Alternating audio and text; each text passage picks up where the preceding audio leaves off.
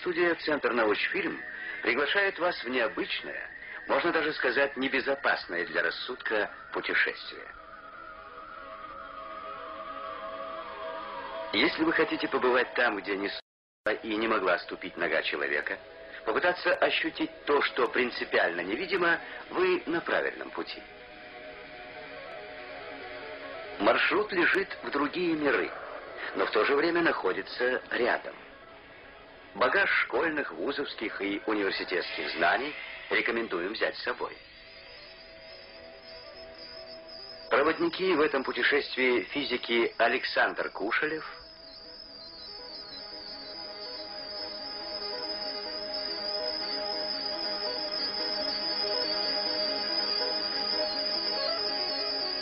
и Дмитрий Кожевников. Возвращение нормальным не гарантируется. Рейс чартерный, продолжительностью 19 минут земного времени.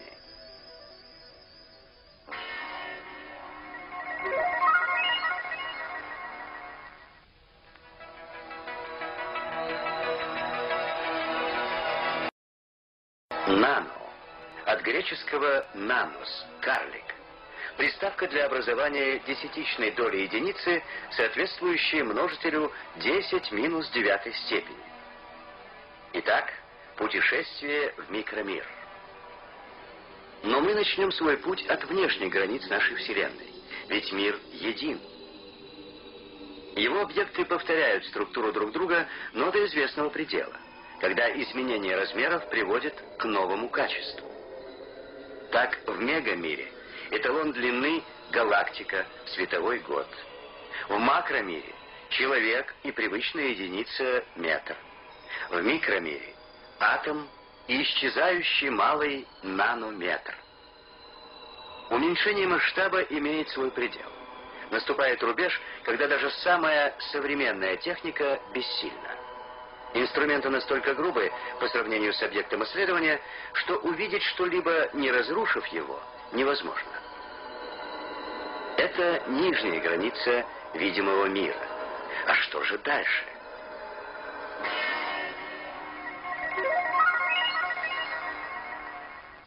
Эту философскую игрушку описал еще две с половиной тысячи лет назад Герон Александрийский.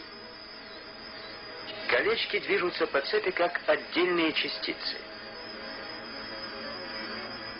Но ведь это цепь, и каждое кольцо находится в сцеплении с соседним. Как же оно может передвигаться? Кольца поочередно переваливаются, оставаясь на своих местах. По цепочке бежит волна, создавая иллюзию движения отдельного кольца. Две встречные волны гасят друг друга.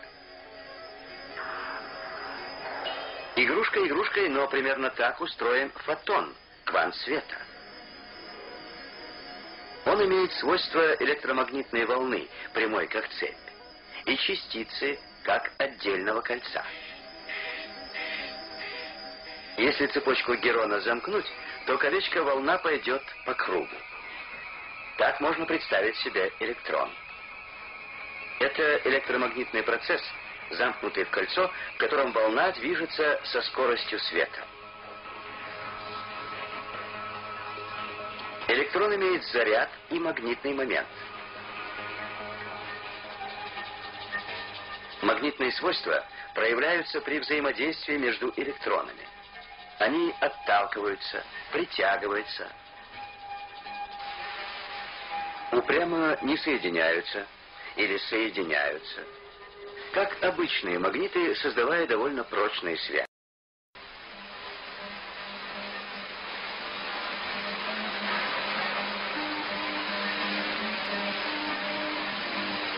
Точно так же они собираются в объемной конструкции. Например, вокруг атома, сохраняя свои магнитные привязанности.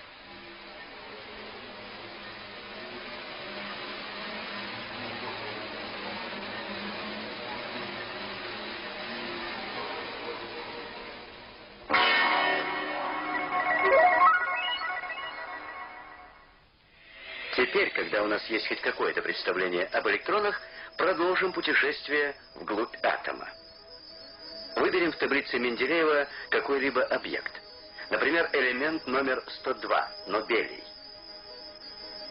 Этот клубок электронов – модель атома на белия.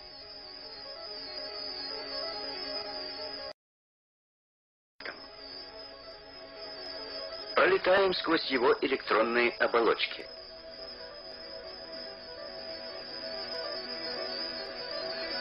Там впереди ядро. Оно меньше самого атома примерно во столько раз, во сколько кольцо на пальце меньше кольцевой дороги вокруг Москвы. Мы привыкли представлять ядро как нечто круглое и компактное. На самом деле это вращающийся стержень, состоящий из дисков. Синим цветом выделенные нейтроны, красным – протоны, число которых в атоме соответствует номеру в таблице Менделеева. У Нобеля их 102. Но ведь и они из чего-то состоят. В отличие от кольцевой структуры электрона, структура протонов и нейтронов спиральная. А природа та же, что и у электрона. Электромагнитная волна, движущаяся со скоростью света. Здесь кубики имитируют и продвижение волны, и ее вращение. Если вращение правое, то это протон, если левое — нейтрон. Чтобы понять, из чего состоят отдельные кубики и сама спираль, придется опуститься еще на 20 порядков глубже, чтобы в миллиарды раз укрупнить детали этой волновой среды.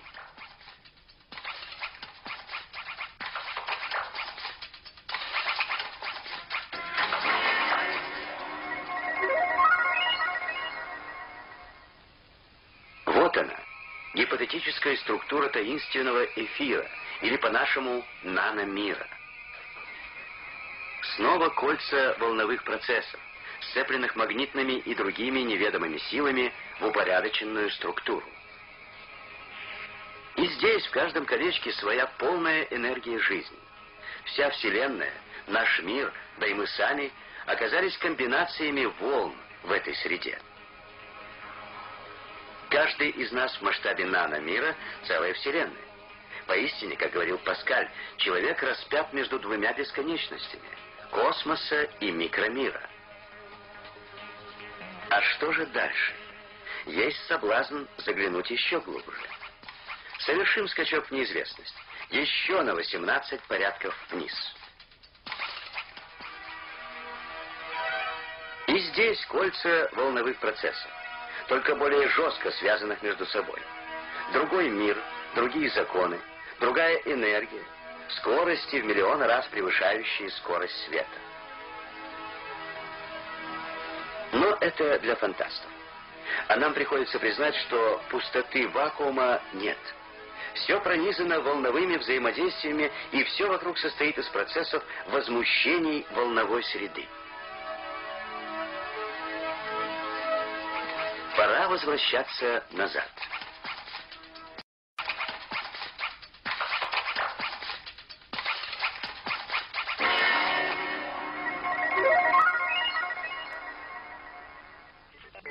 Знакомая нам структура наномира.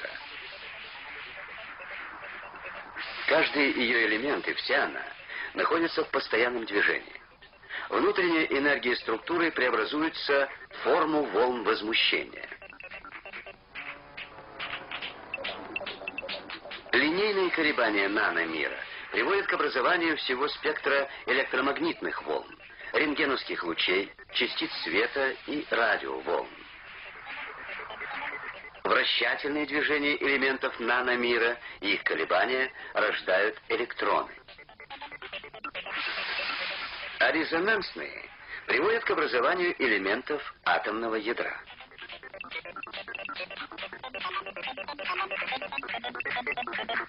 Теперь, когда нам известны кирпичики мироздания, покинем наномир.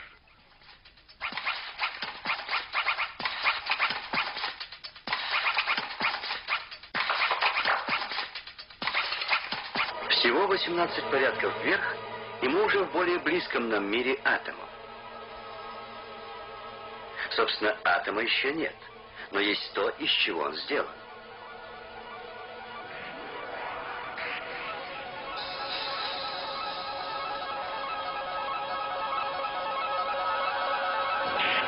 Спиральность элементов ядра объясняет взаимодействие между ними. Ведь витки соседних спиралей могут входить друг в друга.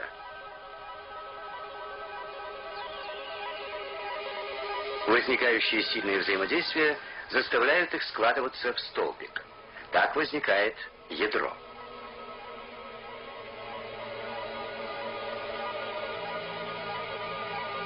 А вот эта компьютерная модель коня. Ядро вращается и изгибается. Причем период собственных колебаний создает узлы именно в тех местах, где происходит распад. Так делится ядро урана, что хорошо подтверждается экспериментами. Любое ядро, ввиду его малости, можно обозначить точкой. Рано или поздно всегда положительно заряженное ядро притягивает всегда отрицательный электрон. И, о чудо, это уже вещество, атом водорода. Именно электрон определяет размер атома водорода и, следовательно, размер электрона равен его диаметру. А если два электрона взаимодействуют как магниты и находятся на равных расстояниях от атома, то это уже гелий. Когда электронов много, то они соединяются так, чтобы быть равноудаленными от ядра, образуя электронную оболочку в виде кольцегранника. Они не могут соединиться по-другому из-за магнитных свойств электрона. Возможно только кольцегранники из восьми электронов, кольцегранники из 18 электронов,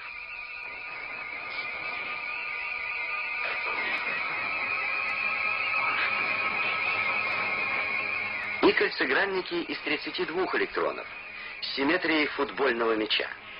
Казалось бы, такой набор кольцегранников случайный, но он замечательно подтвержден длиной периодов таблицы Менделеева. Соберем электронную модель атома с двумя электронными оболочками. Это неон. Ядро сильно воздействует на электроны. Те, что дальше от него, имеют размеры больше, те, что ближе, меньше. Так образуются электронные оболочки, находящиеся одна внутри другой.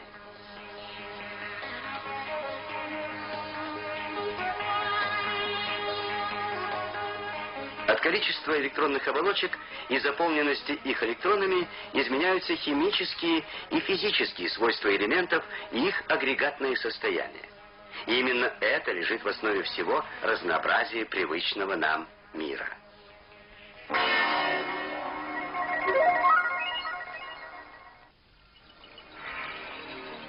Если в оболочке не хватает электрона, то такой атом становится активным. Образуется химическая связь. Получилась молекула хлор-2. С помощью шариков, каждый из которых либо атом, либо молекула, моделирует химические связи между ними.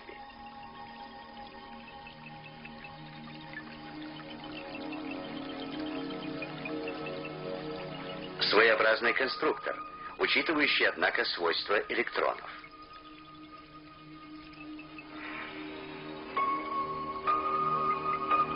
Это электронная модель ячейки кристалла льда. Наименьшая ячейка кристалла обыкновенной поваренной соли.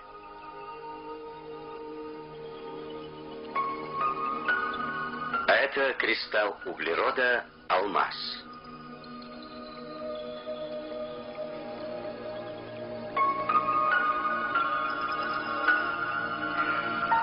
Часто электронов не хватает для образования кольцегранника. Тогда возникает возможность появления двойных связей это углерод. Реализуя такую связь, он справа и слева присоединяет кислород, превращаясь в углекислый газ. Существует класс соединений, в которых электроны располагаются параллельно из-за перестроения симметрии. В этом случае реализуются полуторные связи. Образуется сложная электронная поверхность. Такие модели демонстрируют всевозможные формы электронных поверхностей в соединениях с различными химическими связями. Становится возможным определить и увидеть форму атомов, молекул, кристаллов.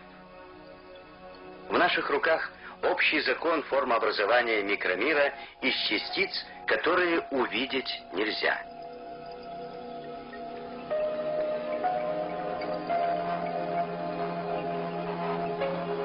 Появилась возможность конструирования молекул из магнитных колец в привычном нам мире.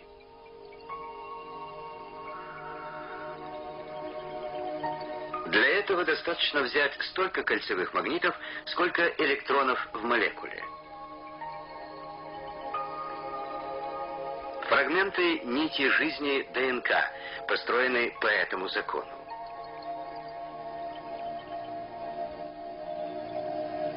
Каждый последующий может примагнититься к предыдущему лишь тремя способами.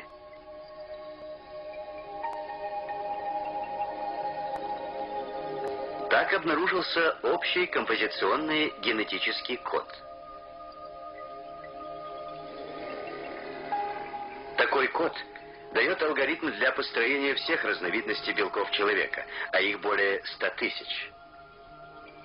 Модели дают возможность увидеть воочию положение каждого электрона с точностью в тысячу раз в самом сильном электронном микроскопе. Определить форму, свойства атомов, молекул, кристаллов и соединений, из которых состоит все живое. Это молекула ДНК.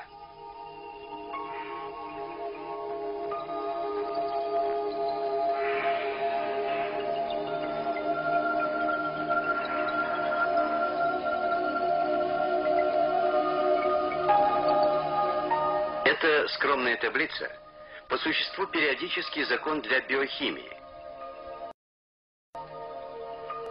Она, подобно таблице Менделеева, ключ к созданию новых белковых соединений с нужными свойствами.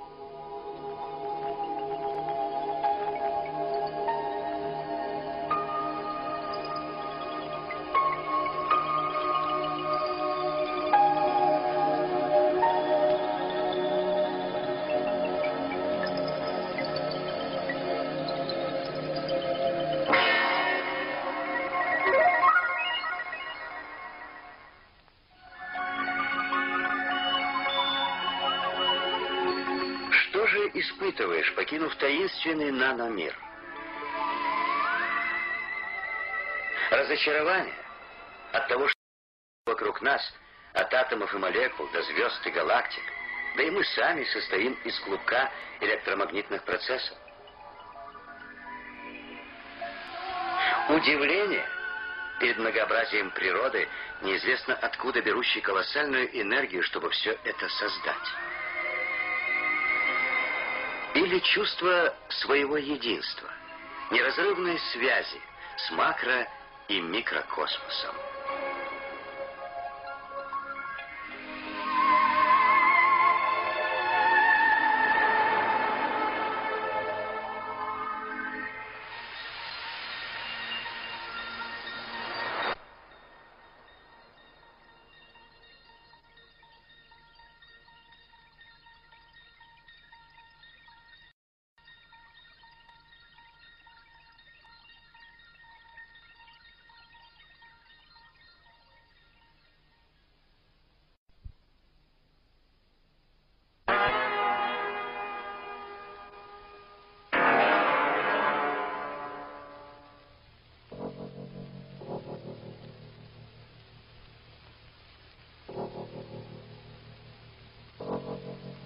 Через привычные приметы нашей жизни, через окружающий нас макромир, мы направляемся в мир бесконечно малых частиц и явлений.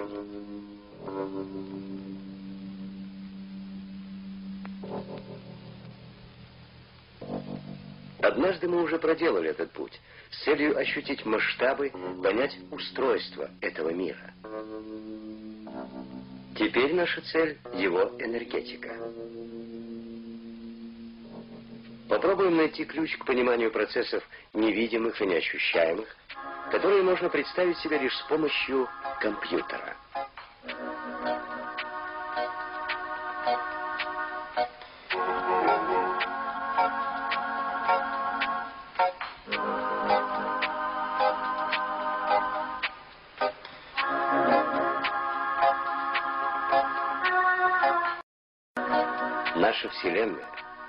Все окружающее нас, и мы сами – проявление жизни этого мира.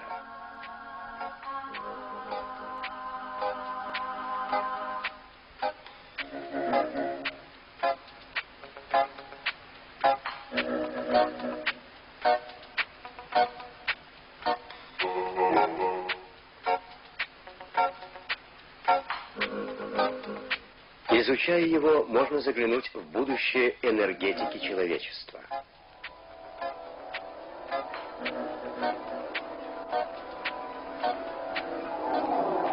Помощью магического кристалла алмаза начнем путь вглубь материи. Сначала увидим общую картину кристаллической решетки. Затем компьютер покажет ее крупнее. Это уже молекула алмаза, которой хорошо видна электронная структура.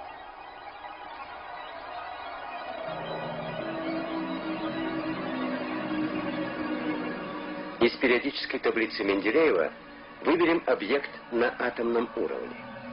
Пусть это будет 102 элемент, на белий.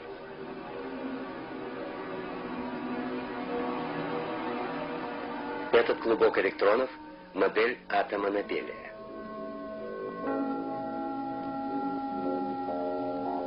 А это его компьютерное изображение.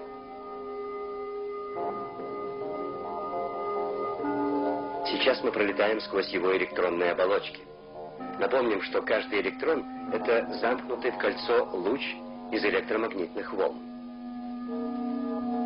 Там впереди ядро. Оно на пять порядков меньше атома.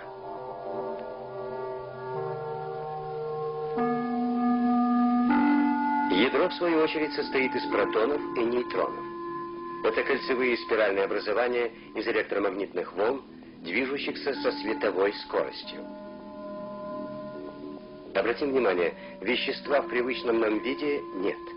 Нет молекул, атомов, их соединений и взаимодействий. Позади и обычная, и химическая, и ядерная энергетика.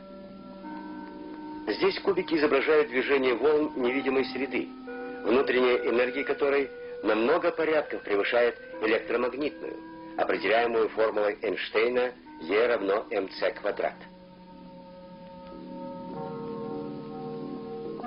Траектория волн в среде может быть спиральной, как в элементах атомных ядер.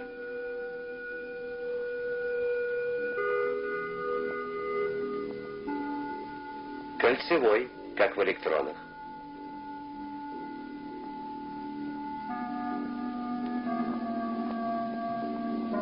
прямой, как в частицах света. Волны радиодиапазона распространяются во все стороны. Но что же такое эти волны? Из чего они состоят? Чтобы увидеть их строение, необходимо увеличить масштаб изображения на 19 порядков. Там цель нашего путешествия — наномир.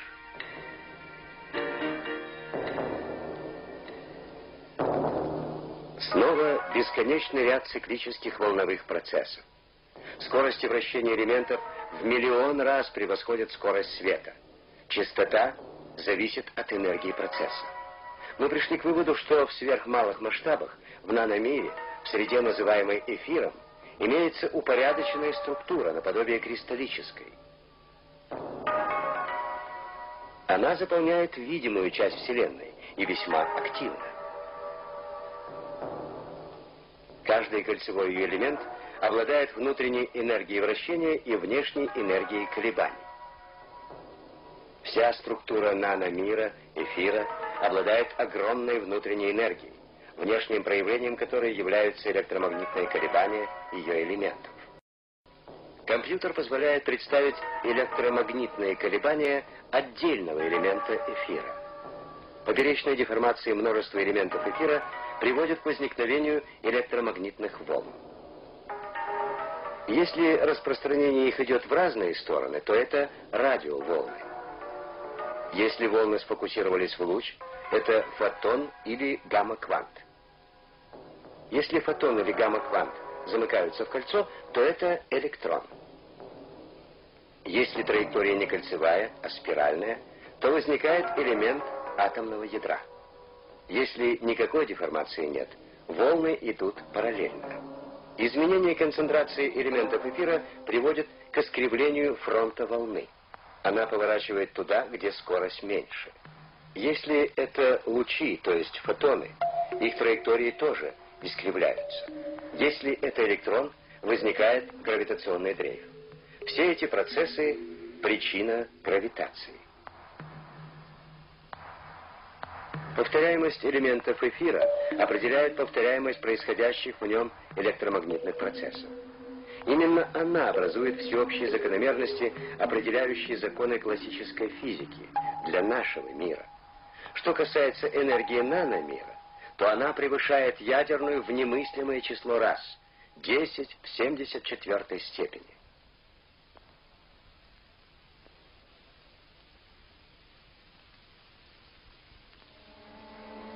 Вращательное движение элементов эфира можно преобразовать в колебательное и далее в электрический ток.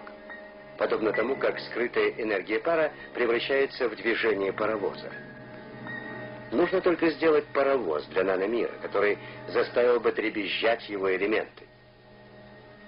В случае удачи это принципиально новый источник энергии, создающий электрический ток высокой частоты буквально из любой точки пространства. Проводник специальной формы направляет колебания элементов эфира вдоль своей поверхности, заставляя их дребезжать. Важно, чтобы этот дребезг не затухал. Для этого проводник должен их сохранить. Такой проводник называют резонатором. Колебания сохраняются, если потери на излучение будут не более 1%. В фильме, особенно компьютером, возможно все. Но в реальности все Чтобы добиться резонанса, необходима высочайшая точность изготовления резонаторов. Исключительная чистота материалов, разработка и внедрение новых технологий. Ясное понимание организации материи на субатомном уровне. Ну и, конечно же, финансирование реализации идеи.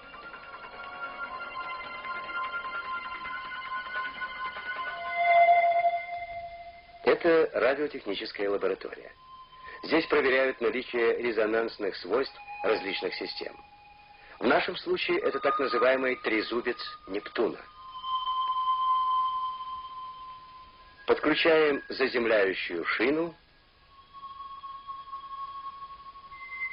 и генератор сигнала передатчика. Электромагнитным щупом снимаем отраженный сигнал. Сигнал зависит от положения щупа.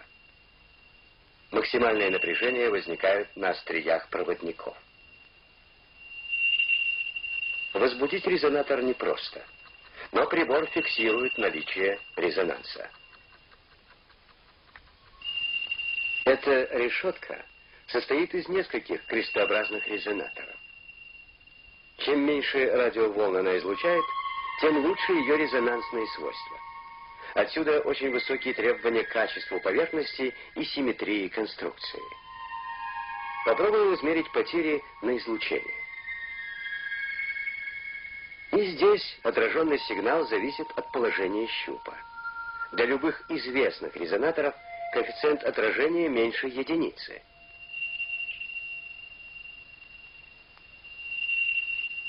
Но в нашем случае он больше. Это значит, резонатор преобразовал внутреннюю энергию эфира в электрическую. Гипотеза о возможности использования энергии наномира подтверждается. А следовательно делает бессмысленными все усилия человечества по усовершенствованию сжигания дров, угля, нефти, добычи экологически опасной химической и ядерной энергии. Как известно, все проекты вечного двигателя даже не рассматриваются ни одним патентным бюро мира.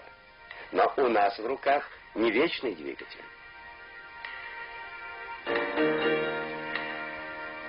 Это лишь преобразователь внутренней энергии эфира в электрическую. Другое дело, что сама энергия среды наномира неисчерпаема. Движение среды, воздуха в данном случае, полощет флаг. По законам физики можно представить и движение флага относительно воздуха. Подобно тому, как плывет в воде рыба или ползет по земле уж. Они используют окружающую среду для передвижения. Но, как оказалось, можно использовать для движения и среду наномира. Если нарушить симметрию резонатора, силы не будут уравновешиваться, и он оттолкнется от эфира, как уж или рыба от воды. Это резонатор, преобразующий внутреннюю энергию наномира в электрическую. Другие хорошо работающие модели вдруг оказались невероятно знакомыми. Трезубцы Нептуна, Зевса, Шивы, Перуна и других богов. Все они символы силы и энергии. Случайно ли это?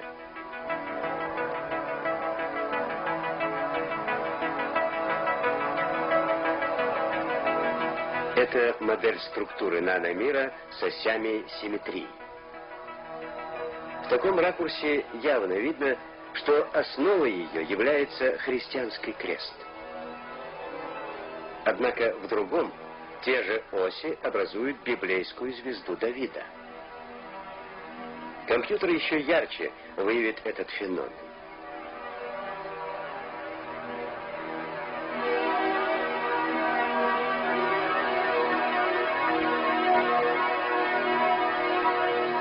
Это вращение модели электронного пропеллера, он же чертово колесо. Здесь в перекрещении осей ясно просматривается свастика. Странная вещь. Научная модель наномира объединяет символы различных религий. Вопрос о существовании единого Бога решается с помощью науки. Объединение науки и религии можно сравнить с единением ума и сердца. Странно. Но случайно ли это? Жил-был физик Максвелл не наш земной, инопланетный. Его механическую модель эфира проверил Герц, тоже инопланетный. Сделал резонатор, приемник. Научился передавать и принимать электромагнитные волны. Если антенна может трясти эфир, не может ли она оттолкнуться от него, как рыба от воды, подумал он. Долго ли, коротко ли шли исследования, но завершились они созданием простенького двигателя для дешевенькой летающей тарелочки.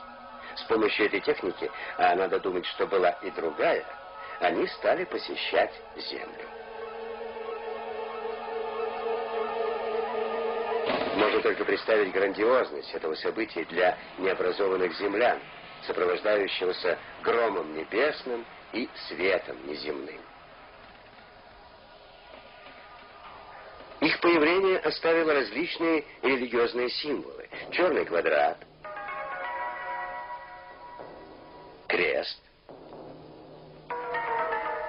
языческий крест народов Коми, Удмуртский крест, Трубчевскую серьгу, латвийский узор. И тут просто сам собой возникает вопрос, что если подобные аналоги порождены реальными преобразователями энергии инопланетян, посетивших Землю в древности? Как-то вдруг оказалось, формы и структуры наших моделей всегда воспроизводились в традиционных орнаментах, узорах, в утваре. В элементах решеток и оград в огромном количестве ритуально-магических и декоративных предметов. А может, это действительно память о посещениях? Ведь построили же соломенный самолет туземцы, увидев американский бомбардировщик в известном фильме «Воспоминания о будущем». А может быть, о прошлом?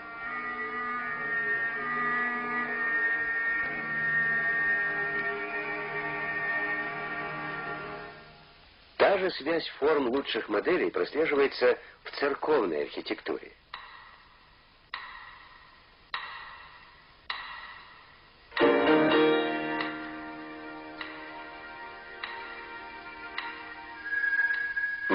Пятикупольного двигателя. Его проверить проще, чем резонатор.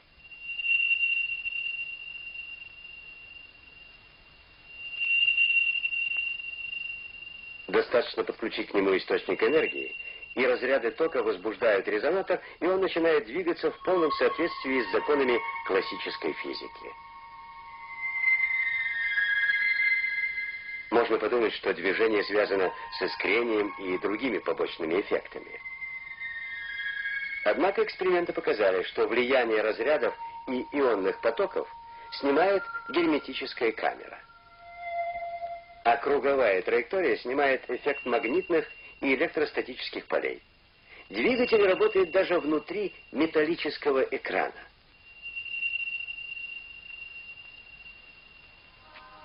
Резонаторы могут менять свою форму, сохраняя резонансные свойства, так как важным является лишь симметрия формы.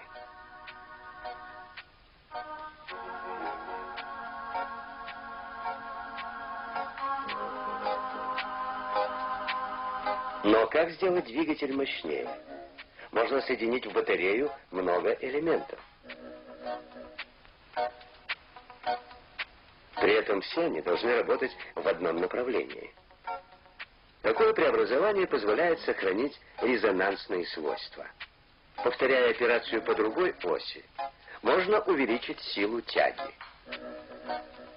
Дальнейшее уплотнение системы увеличивает ее удельную мощность. Учебник ковер-самолет.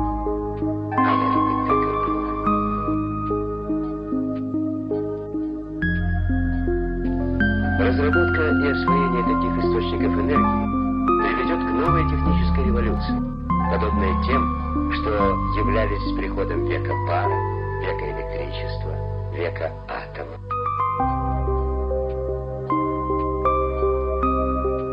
Только этот источник энергии вечный и экологически чистый. И рано или поздно мы придем к нему.